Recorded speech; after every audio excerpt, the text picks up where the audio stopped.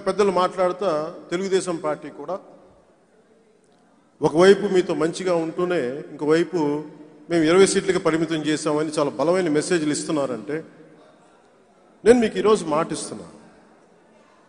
నేను ఎప్పుడు లోపాయికారి ఒప్పందాలు పెట్టుకోను.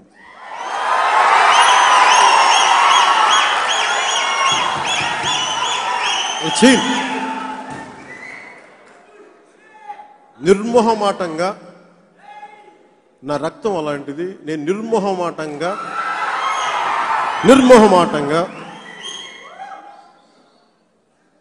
మీ ఆత్మగౌరవాన్ని నేను తగ్గించను.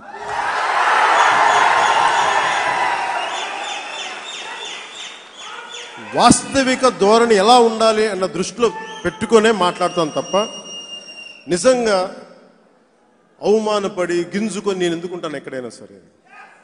నేను ఉండను. ఎప్పుడూ లేను.